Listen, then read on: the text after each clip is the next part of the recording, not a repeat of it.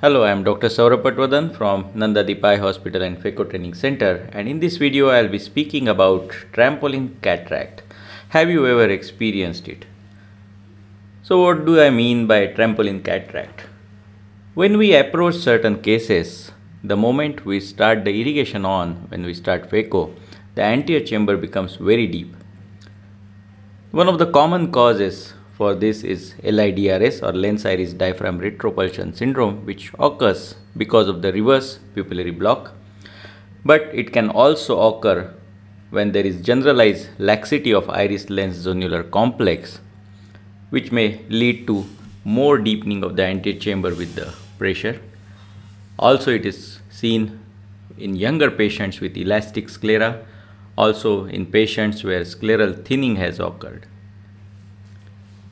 So during the surgery, when you start doing phaco, the anterior chamber is very deep and you have to reach out to the nucleus to tackle it. I call it trampoline because it is similar to jumping on a trampoline. When you jump on it, the trampoline goes down. When you come up, trampoline comes up. So that is how you know the anterior chamber also looks like when you are operating. So I call it trampoline cataract. Let's look at this particular case. This was a intumescent cataract. So it started off with a shallow anterior chamber and the moment I started irrigation what I found that the anterior chamber became very deep and you will find that on the left upper side you can see the way the phaco probe or the phaco tip is aligned you can see I am trying to reach out to a deeper plane because the anterior chamber has become very deep here. So I, even with the chopper or the Sinskey, I am going very deep in the anterior chamber to have a good chop. And many times for beginners it is difficult because they have to have a different angle towards the nucleus. It is more vertical than the horizontal. And that means uh, that uh, they have to use the instruments and hold the instruments far away from the tip and also should use long tipped Sinskey or choppers. This is very important. The moment I remove the phaco probe, uh, it again becomes shallow. Again when I start the irrigation aspiration, you can see that it has become deep.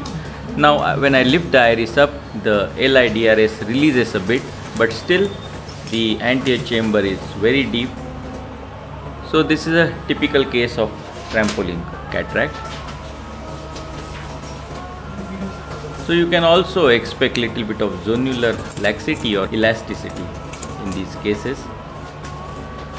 You can see that after putting the IOL again the AC is of normal depth but the moment irrigation starts again the AC deepens and uh, this is partly because of LIDRS and as I lift the iris up it becomes shallower but not absolutely normal and at the end all looks normal with the normal anterior chamber depth. So what are the possible risk factors for having such kind of trampoline cataract?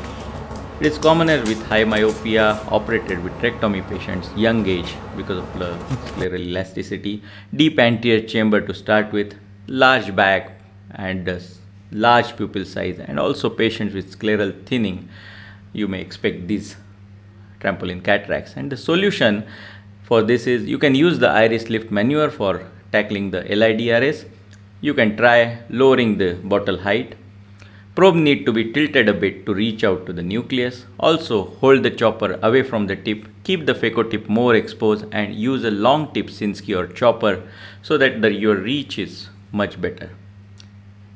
Thank you so much for listening do subscribe to my youtube channel. Also you can visit our website phacotraining.org.in and you can send your own videos for review and publication. Thank you